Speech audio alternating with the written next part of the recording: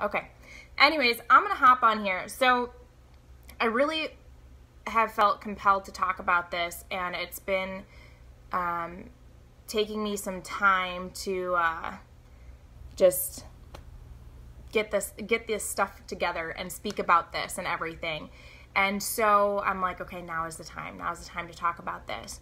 And so I was listening to a sermon by uh, Ron Carpenter, and he was talking about this amazing ordeal of eagles. And I don't know how many of you guys are animal loving people, but if you're animal loving people, give me a thumbs up. Um, if you guys know anything about eagles or birds, great. If not, let me tell you this crazy, insane ordeal that eagles do. And what's awesome is that eagles are in the Bible, you'll hear about us being like eagles. Like you'll you'll hear about eagles a whole lot in the Bible if you read it. If you don't, no worries. But let me tell you about an amazing ordeal with eagles, okay? This is female eagles, all right? So, a female eagle, once there are like, you know, there's a few different male eagles that are seeking this female eagle, this female eagle will go and take a pebble or a stick and fly up and drop the pebble. And a male eagle will come swooping in and grab it and bring it to her. She'll then go ahead and grab another pebble, fly up, and this female eagle will again drop it. Okay? So, whoever male eagle will go ahead and catch that and bring it to her. She'll then go ahead and drop this pebble really, really close to the ground to see what male eagle will fly in to catch this and risk his life, right? So the male eagle will swoop down, grab this pebble, and bring it to her. So you're probably like, wow, that's females for you, right? They're crazy. They do crazy stuff to get our attention. Right, men? You guys are if you if you men are not throwing some hearts up, come on now. You guys are all like, "Yep, totally." These women do some crazy stuff to get our attention and this and that, but honestly, she's not doing this for for games. This female eagle's not dropping these pebbles for any games. She wants to know who is risking their life to be her mate, proving that he will risk his life to catch her, to catch her future babies, that he will risk his life to catch them. That is crazy, you guys. This is so crazy. She's not playing any games. She wants to figure out who is the best Papa Eagle and who would possess enough courage in order to save her future babies, their future babies, you know, even at the risk of his own life. This is powerful. Like it that's that's so powerful. When I heard that, I was like, "Whoa." Like she she's not settling to the quickest male that's coming to her. She is being patient and she's allowing her future mate to fight for her and to find her. So let me ask you, women, how often do you allow men to fight for you? How often do you allow the Lord to test your future mate and pick out the best future mate for you? It doesn't happen so often. That's like not the norm anymore, right? It's like all of a sudden the quickest thing that comes to you, hey, sweet, how's it going? Or you see a lot of women that are chasing men. No, no, no, no, no. Nope, nope. So I'm asking you, women, are you willing to wait for who would risk their life for you and your future kids, or if you have kids already?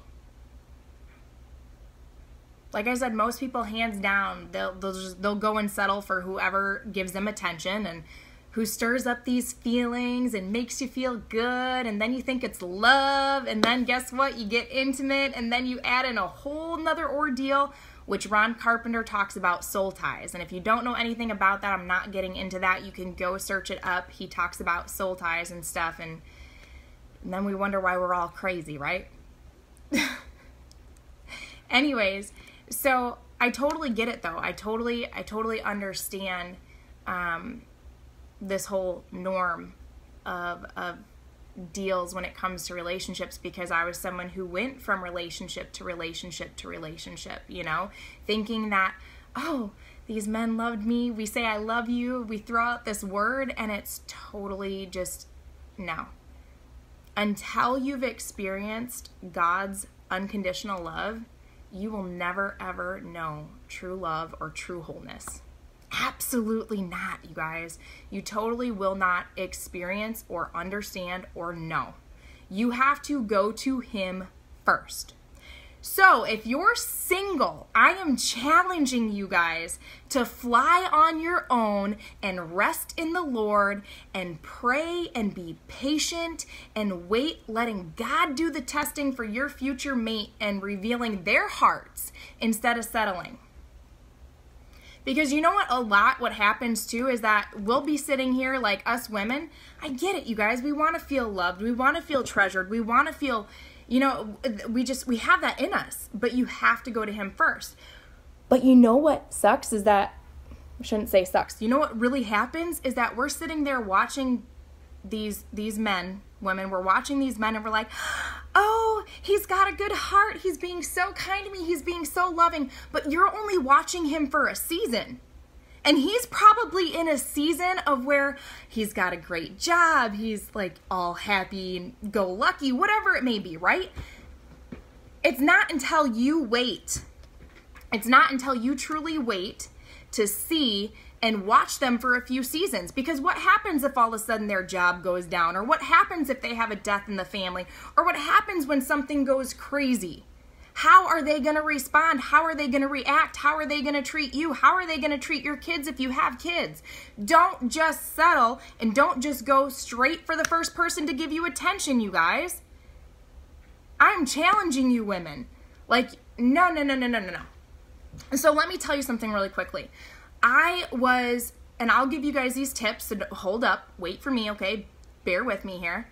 After my divorce, my pastors, like, I mean, I pastored throughout my marriage and stuff, but after my divorce, my pastors were like, hey, you know what? We highly recommend, you know, we suggest that you wait a year until you get into a relationship. Like, you know, it, you don't have to, there's no whatever, but like, this is what we recommend.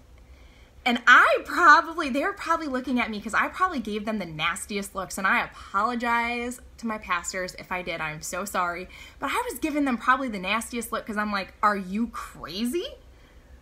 Because I didn't want nothing to do with men. I didn't want to get in a relationship. I was like, dude, they all suck. Sorry, men. I know that that's not true, so bear with me, but I'm just telling you how I felt. I was like, I'm done. I'm like, I'm, I don't, uh, no, nope, nope, mm-mm, we're good. So it was so difficult. It was probably one of the diff- the most difficult things that I've experienced mentally going through the divorce, even though I knew the Lord, because you know, as as a parent and everything, I had to be strong for them, and it was so hard to kind of show them, hey, you know what, mom's hurting right now. We're going through this situation, but yet I have to be I have to be here for you guys and everything. It was hard. It was so so hard. And I, I felt so broken, so broken inside even though I knew the Lord, like just being real, I'm like, what is what's up with this? I don't, Lord, I don't understand. I don't get this. Like this isn't this isn't what I expected marriage to be. This isn't what I expected anything to be, but to be real when you become in a relationship with someone, this I got in this relationship before I even knew the Lord and I made compromises through the relationship like y'all would laugh. Just wait. There there will be a book one of these days. I'm declaring that. There will be a book on and you're going to be like, "Oh my word, Ashton, you are hilarious." Cuz I'm telling you, there was compromises and everything. So, um anyways, you guys, it wasn't until I was like, I I have to take time with the Lord. I've got to do this cuz I don't understand this. I I don't get this. And I took three days off of social media, and you guys are like, whoa, three days? Big deal, Ashton. No, when you're someone who runs a business on social media and you're someone who is been consistent on social media, three days off for me was enough. So that was that was a lot. I took 3 days off. I pushed away everything else. I'm like I need to take time. I told my team, I told my challengers, I'm like, "Listen, y'all, I have to take this time because I'm going to lose it." so I took 3 days off social media to rest in him and wow, let me tell you, God opened up my eyes. Oh my word, I felt so complete. I felt so whole. I felt loved. I felt a sense of worth because I kind of was feeling a whole lot like garbage, you know? So, and you know what he told me? He had me write out a list of my future Boaz because I, I felt it in my spirit that I wasn't going to be single for the rest of my life, that I had a ministry that I would be running with my husband and I and my family and our kids. But it wasn't something that I was going to settle. It wasn't something that was going to be compromised. It wasn't something that was going to be rushed. It wasn't going to be something that I was going to go search. He's like, Ashton, I will bring your Boaz to you. You pray, you be patient, you be faithful, you stay obedient, and you write out your list. You write out this list of exactly what I've got for you. Mm hmm. That's right. You're like, a list? Really? Yes, I've got a list, and he's right underneath Jesus on my board here. for real. So, because if he doesn't meet those check marks on that list, God's like, that's not your man. That's not your that's not that's not your Boaz. So I also, hear me out here, ladies, I also said, you know what? I'm not going to be intimate until I'm married. Because I didn't grow up I wasn't told, "Hey, you should wait for marriage." I wasn't. I wasn't I was told, "Hey, don't get pregnant." Like you probably shouldn't, you know, like we know parents preach you and this and that, but I wasn't told, "Hey, you should wait till you're married until you have sex." I'm like, that's like, that was like, it was normal. It was normal in high school. That's what we did, right? No, no, no, no, no. Yes, I'm preaching to you right now. I'm telling you guys because this is real stuff, okay? Like I said, go check out Soul Ties, look it up. Ron Carpenter preaches about it. But I was like, you know what? I'm going to wait till I'm married. And I even had friends, you guys, some good friends that were like, are you serious? I'm like, I'm dead serious. Like, I haven't built a foundation and a relationship and anything the way that God's called me to. I'm like, wait a minute, so you're not even gonna like test drive the car before before? Like that I mean that's what you do, right? I mean even like just wait until you're till you're engaged. I'm like, no no no no no.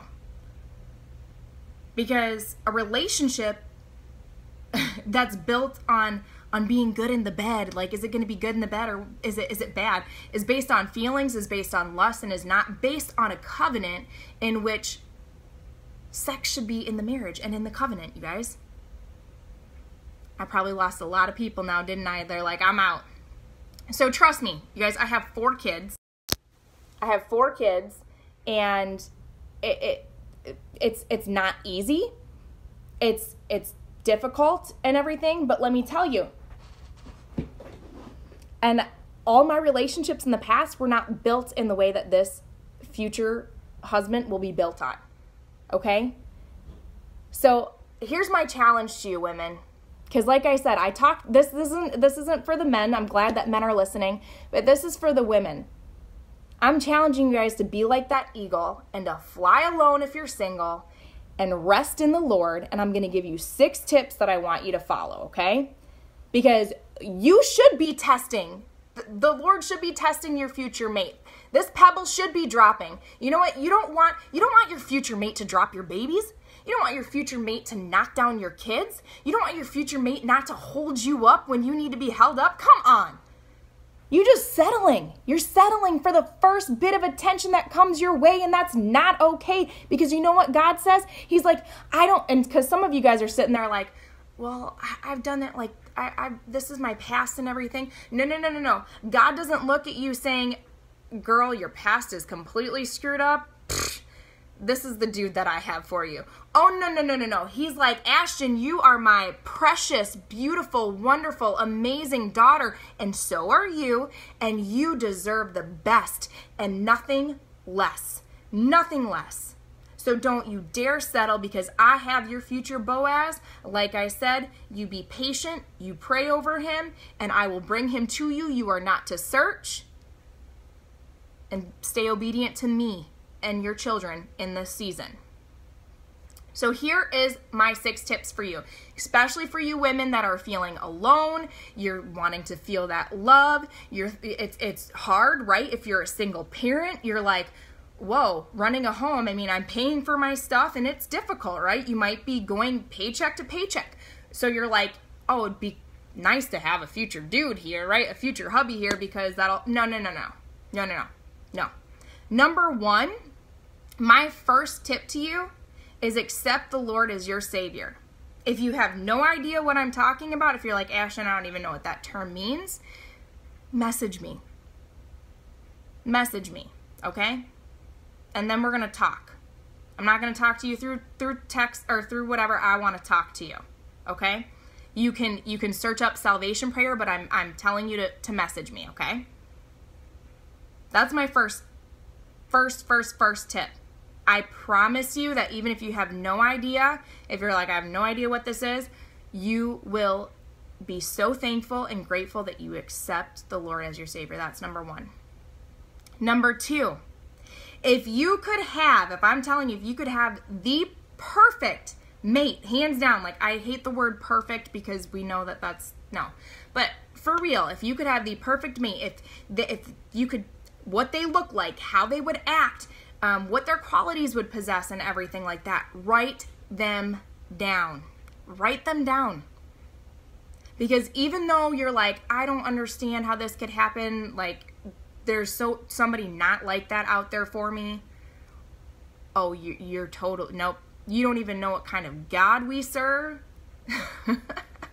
Because you know what? When I wrote down my list, I had one of my good friends tell me, she's like, Ashton, you're not going to find that. I was like, oh, I know I'm not going to find it because God's going to send them my way.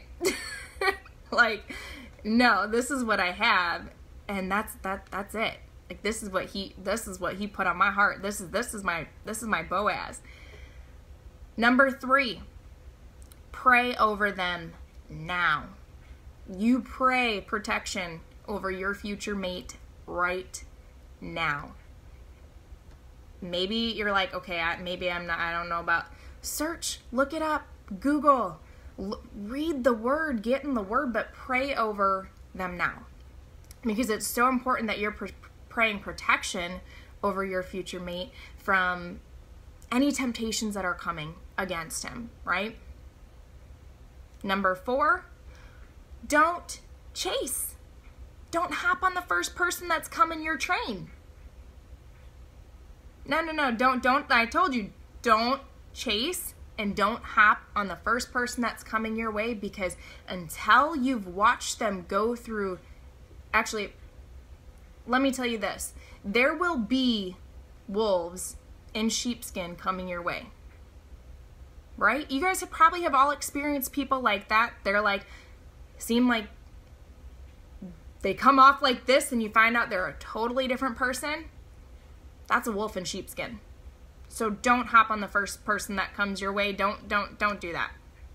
Number 5, be patient and ask God to test them so that you're watching them through seasons in their life. Like I said before, that if you're just watching somebody through a season and they're going great in their life, you don't know how they're going to act when all hell breaks loose. When crap is going down you can you might only see a, a, a person in that season and you need to watch them through certain seasons. So that's number five.